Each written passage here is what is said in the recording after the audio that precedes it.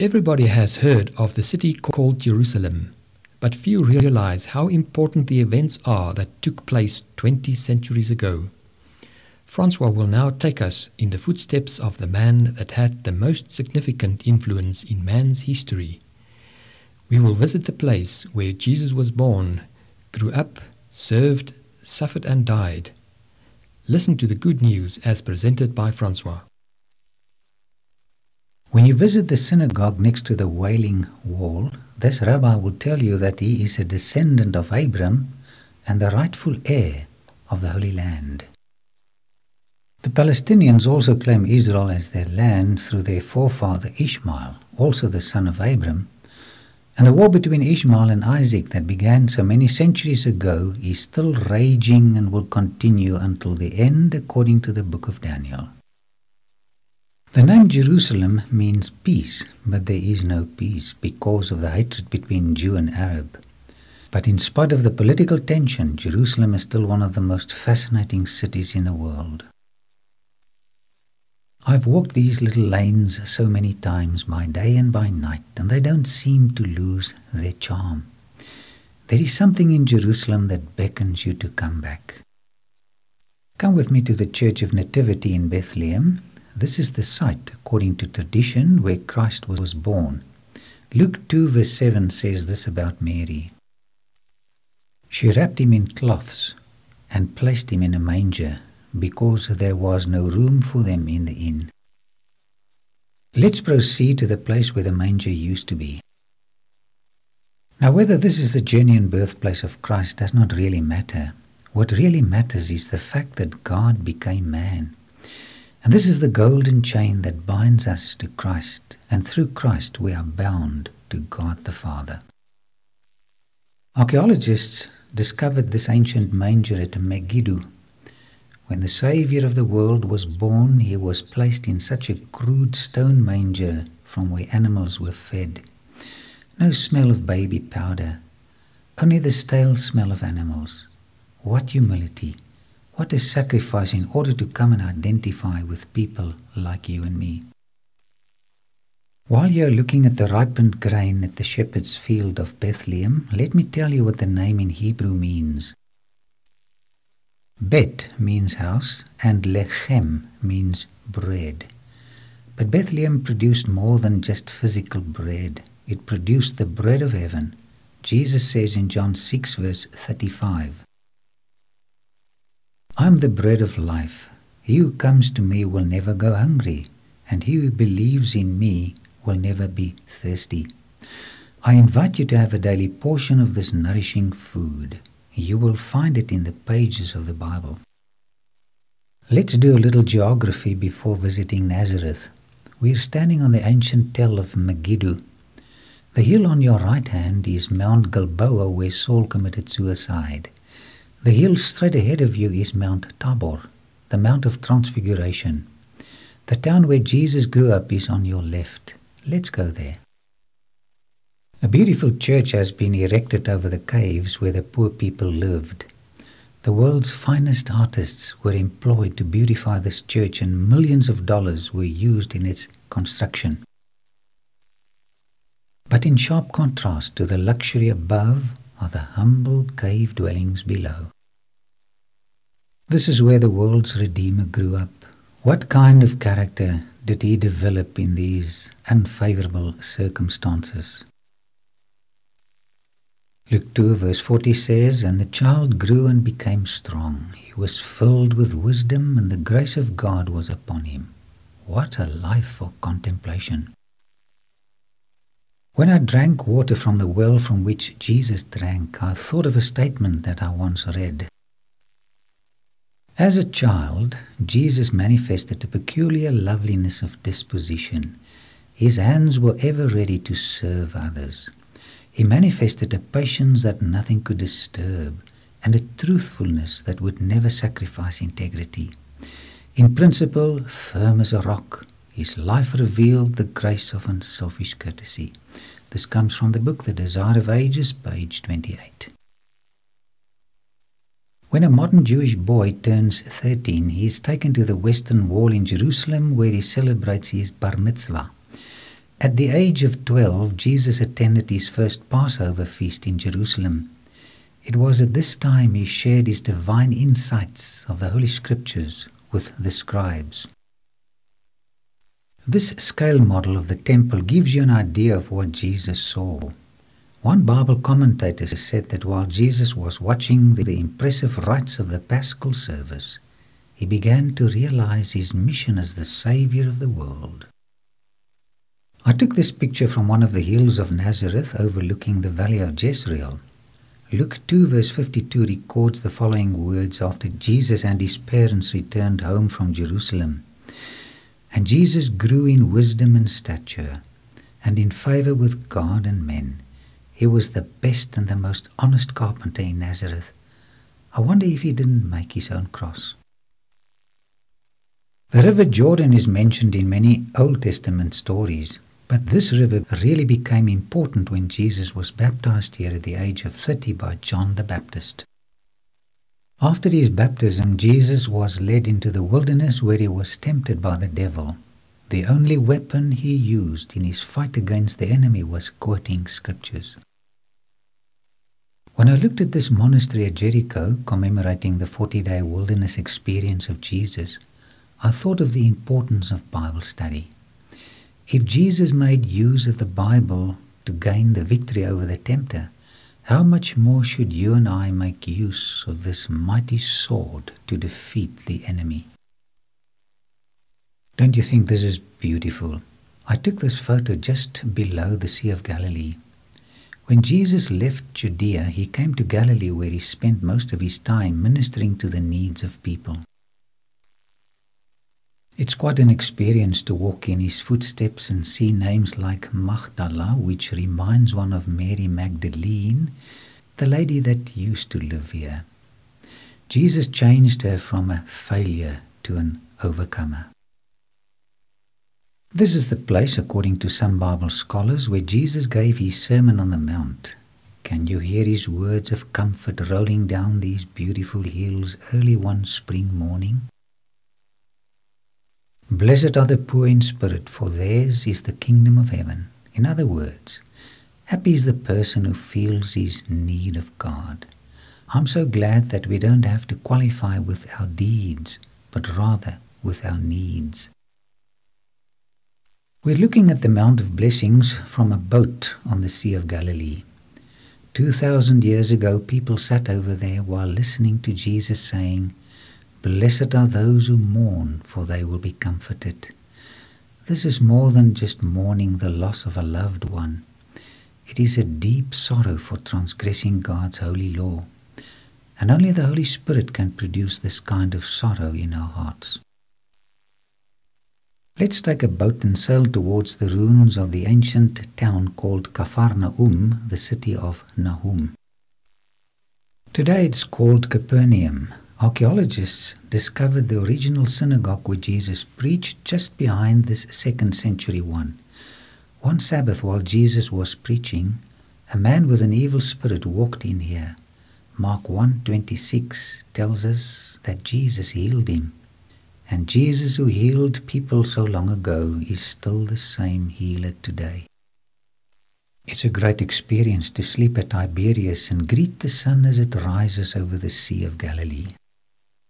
One morning, as I watched the fishing boats coming in after a night of fishing, I thought of Jesus, the God man who changed the history of this world.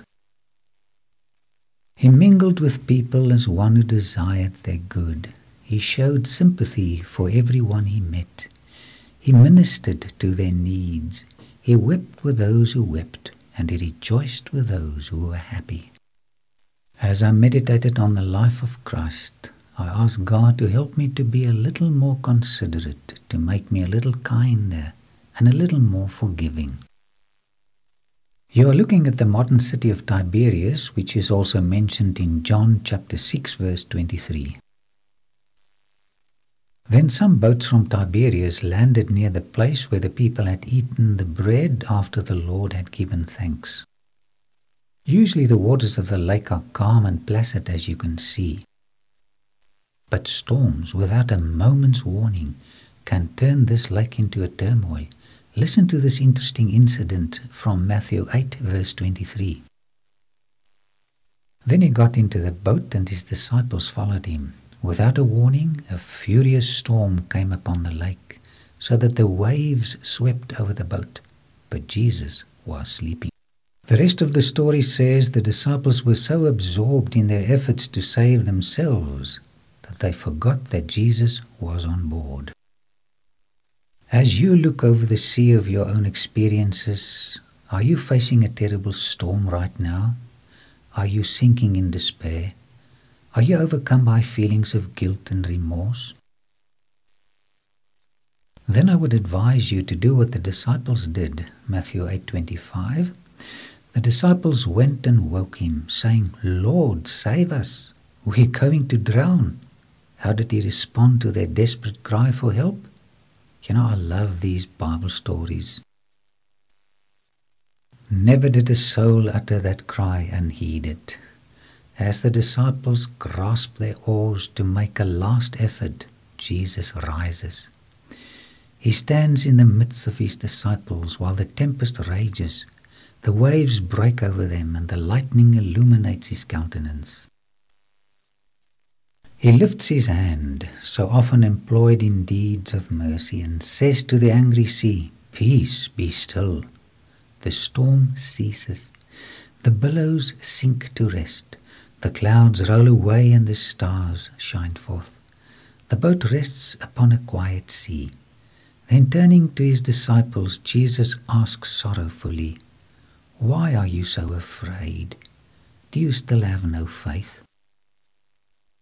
The story of Jesus and his disciples on the stormy Sea of Galilee 2,000 years ago appeals to every human heart, inviting us to allow Jesus to calm our troubled hearts.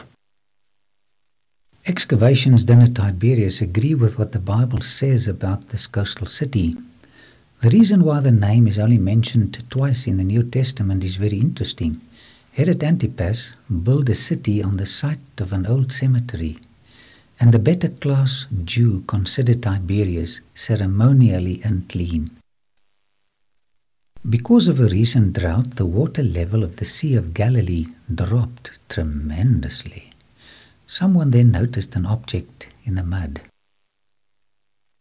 After excavating the area, they found a very ancient boat, and to the pleasant surprise of all, it dated from the time of Christ.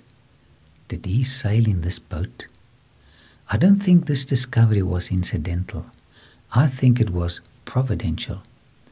Let's leave the peaceful scenes of Upper Galilee and return to Jerusalem for the last few minutes of our lecture. In the story of the resurrection of Jesus, the Bible speaks of a stone that was rolled away from his tomb.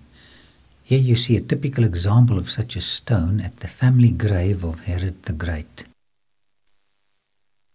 We are standing in the Kotel Tunnel in Jerusalem. This young Israeli guide is telling us about the former glory of this famous city. I took this slide of the Damascus Gate in 1966 during my very first visit to Jerusalem. In those days, the city was under total Palestinian rule. For many years, scholars maintained that the original Damascus Gate was situated just below the modern gate. But because Arabs occupy this part of the city, they were not allowed to excavate. But fortunately, this part of the city developed a sewage problem in the early 80s, and they were forced to dig around the Damascus Gate. And guess what? They discovered the original Damascus Gate from the time of Christ. What an archaeological breakthrough! Christ and his disciples walked on these very stones you see. I told these friends of mine that the story of Jesus and his ministry in Jerusalem is a true story. As a matter of fact, it is the greatest story ever told, and believing that story means eternal life. Archaeologists also discovered and identified the Pool of Siloam. This is where a certain blind man washed his eyes at Jesus' command and received his sight. This is what Jesus did for people when he was here. The same Jesus wants to heal my blindness concerning the needs of those around me. Have you ever had an experience where an accident turned out to be a blessing? We were on our way to the Mount of Olives when the Arabs threw stones at our bus. And then we were told to report this attack to the police. While I was waiting for the paperwork to be completed, I strolled around and came across this huge column. To my pleasant surprise, I discovered that it dated from the time of the Second Temple, that means from the time when Christ was on this earth. What a discovery! It gives one an idea of the former glory of that beautiful temple.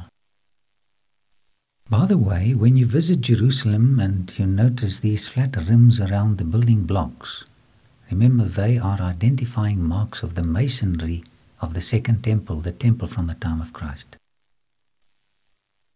I have exciting news for you. They've also discovered the sarcophagus of Caiaphas, the high priest who reigned during the time of Christ. He was involved in the condemnation of Christ. Jesus was betrayed by one of his best friends, a man by the name of Judas, and then arrested in Gethsemane on a Thursday evening just after midnight. Botanists tell us that these olive trees are the children of the trees who grew here when Jesus was agonizing for us. It was here that he decided to take the crushing weight of our sins upon himself. He knew that by owning our guilt, he would be separated from his Father. Jesus was in such agony that his capillaries burst and his face was covered in blood. This only happened five times in medical history, and every time the person died. What love, what incomprehensible love for a sinner like you and me. After his arrest in Gethsemane, he was led through the Kidron Valley and up these very steps to the palace of Caiaphas, the high priest. A mocking crowd of almost a thousand people surrounded him. Can you see him? If this recent excavation at St. Peter's in Gallicantu could talk, you would hear the story of how Jesus was struck with cruel fists, spat in the face, and mocked till daybreak. First he was tried before Annas, then before both Annas and Caiaphas. After that, the Sanhedrin tried and condemned him in an illegal nighttime trial. Then at sunrise, his trial was reenacted. Four unfair trials to condemn the innocent Christ. Can you perhaps identify with him? Archaeologists discovered these grooves in the rock at the palace of the high priest. Whenever a person was found guilty, his hands were tied in here. Then he received a total of 26 lashes across his chest, which ripped out his flesh. One of the Messianic Psalms predicted that Jesus would be cast into a dungeon. Let me read from Psalms 88, verse 7. You have put me in the lowest pit, in the darkest depths. I'm reading from verse 8 while you are looking up at the actual opening of the dungeon where Jesus was locked up. You have taken me from my closest friends and have made me repulsive to them. I'm confined and cannot escape. Mark 15, verses 1 and 2. Very early in the morning, the chief priests, with the elders, the teachers of the law, and the whole Sanhedrin reached a decision. They bound Jesus, led him away, and turned him over to Pilate. Was there really such a Roman governor in Jerusalem at this time, as the Bible states? While excavating at the ancient Roman amphitheatre at Caesarea, archaeologists came across this cornerstone. On investigation, they concluded that it was an altar dedicated to Caesar Tiberius. I wish I could have shared my deepest emotions with you when I first saw the name Pontius Pilate outside the Bible. There was really a man by this name, and there was really a God man called Jesus Christ who was condemned to death by this Roman governor. This chapel along the Via Dolorosa is called Ecce Homo, Latin for Behold the Man. It commemorates the time when Pilate contrasted Jesus with Barabbas. He said, Behold the man. Pilate knew Jesus was innocent. According to the Gospel of John, Pilate acquitted Jesus three times. He could not believe that they would choose Barabbas, a known criminal, over the gentle and kind Jesus. So, in order to solicit the sympathy of the crowd, he had Jesus flogged 40 lashes, save one, and then presented him with these words Behold the man. Many interesting discoveries were made in the area of the ancient fortress of Antonia, where the Roman guard was stationed. This, for instance, is the original pavement called Lithostrotos, where Jesus was condemned to death. While the cruel, unfair trial was in progress, the soldiers played the game of the kings on this pavement. Matthew 27:16 says, Pilate had Jesus flogged. Ancient sources tell us that this was so severe that many a victim died before the last few lashes were administered. The victim was stripped to the waist, usually bound to a post with his hands tied together, and then lacerated on his back. But let me tell you more about the cruel Roman instrument of torture, the flagellum, which was used to administer the 40 lashes save one. Pieces of bone and metal were tied to the thongs to intensify the suffering. I don't think it's necessary for me to tell you exactly what the victim looked like when the last few lashes ripped up the remaining flesh. Oftentimes, the victim's intestines were exposed and he died before they could crucify him. We are bought with a very expensive price, the life of Jesus Christ. It was Roman custom to flog the condemned before crucifixion, so Jesus received a second flogging of 40 lashes, save one. This gives us a total of 78 lashes on his back by the Roman authorities. Add another 26 lashes on his chest administered by the Jews. You get 140 lashes in total. Just one big wound, unrecognizable. He bore our sins in his body on the tree, so that we might die to sins and live for righteousness. By his wounds, the original only says wound, you have been healed. John 19, verses 17 and 18 says that Jesus was crucified at a place called the skull, which in Aramaic is called Golgotha. General Gordon was the first to identify this skull like hill. For many years, I had the desire to visit this hill called Calvary. And then one specific year, I found that the gate that guarded Calvary was not locked, and the man who guarded the area was gone. I quickly slipped in and took this picture. As you notice, Calvary today is a Muslim cemetery, and no Westerner is allowed to come in and take pictures here. This is the place where, according to some scholars, the greatest event of all history took place. It was here that God the Father and God the Son settled our sin account and revealed their supreme love for us. While I stood here, Galatians 3:13 came to my mind. Christ redeemed us from the curse of the law by becoming a curse for us, for it is written, Cursed is every one who is hung on a tree. What is the curse of God? The Bible says it is eternal separation from Him. Why was Christ cursed with the curse of an eternal separation from the Father? Because He took my sins upon Himself, so that I may take His righteousness upon myself. 1 Corinthians chapter 15 verse 22 says, In Adam all die. When Adam, our representative, chose to sin, we all sinned in him. Romans 6:23 says, "The wages of sin is death." How was God going to satisfy the claims of the law on the one hand as well as setting the sinner free on the other hand? Paul says in 2 Corinthians 5 verse 14, "For Christ's love compels us because we are convinced that one died for all." And therefore all died. On Calvary, Jesus died as the representative of fallen humanity. In Christ, we have already received the punishment for our sins, which is eternal death. When Jesus died, the claims of the law were fully satisfied.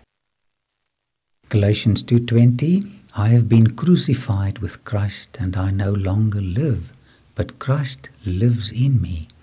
The life I live in the body, I live by faith in the Son of God who loved me and gave himself for me. What does Paul mean when he says he was crucified with Christ? Was he nailed onto one of the other crosses? No. Paul says that when Christ died, he, Paul, also died. He received the punishment of eternal death, eternal separation from God when Christ was punished. My fellow sinner, we have already received the punishment for transgressing God's law. We are set free. Let's thank God for it. When I took the picture of this lonely tree on Calvary, I thought of the lonely cross that stood here 2,000 years ago. You know, Jesus was condemned for our sins in which he had no share, that we might be justified by his righteousness in which we had no share. He suffered the death that was ours, that we might receive the life that was his. Isaiah 53 verse 5 He was wounded for our transgressions, He was bruised for our iniquities. The chastisement of our peace was upon Him. May I invite you to trust God fully to handle your sin problem. He is more than capable. Maybe you have a little doubt as to whether you will make it to heaven one day. May I invite you to trust Him to get you there. While you're looking at the traditional tomb where Christ was buried, I would remind you of Paul's words in Colossians 3, verse 1. You have been raised with Christ. What a thought! When Jesus was resurrected that Sunday morning, we too were resurrected in him. And what happened when Jesus ascended to heaven from this traditional spot on the Mount of Olives? Well, he took us with him to heaven.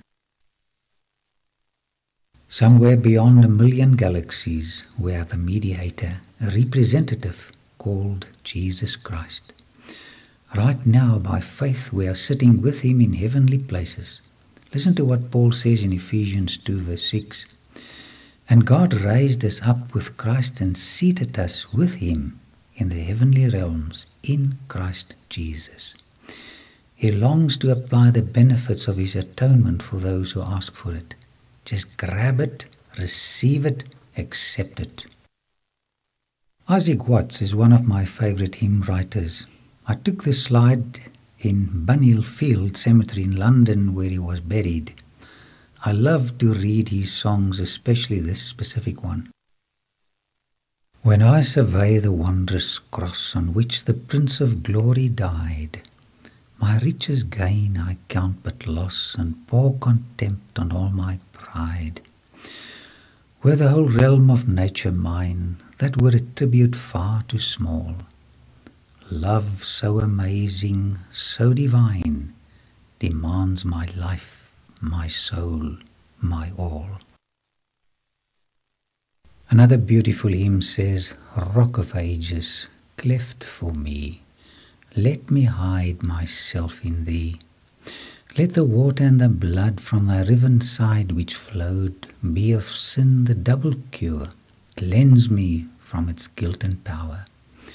Not the labours of my hands can fulfil thy law's demands. Could my zeal no respite know, could my tears for ever flow, all for sin could not atone. Thou must save, and thou alone. Nothing in my hand I bring, simply to the cross I cling. Naked, come to thee for dress, helpless, look to thee for grace. Foul I to the fountain fly, wash me, Saviour, or I die. Are you guilt ridden, longing for peace that surpasses all human understanding? Do you want the assurance of salvation? It is so very simple. All you have to do is to bring your sins and your failures to the foot of the cross, confess them, and leave them there. The moment you do it, God rewrites your history of failure into the history of His Son, and you are saved by grace. This is the very, very, very good news. My prayer is that you will accept this divine offer. The acceptance thereof means eternal life. Thank you, Francois, for bringing to life the history of Jerusalem in a meaningful way. Heavenly Father, nothing in my hand I bring, simply to the cross I cling. Thank you for the greatest gift of all times, Jesus Christ, who has brought to us hope in this hopeless world. Bless everyone who listens to the good news of the gospel. Amen.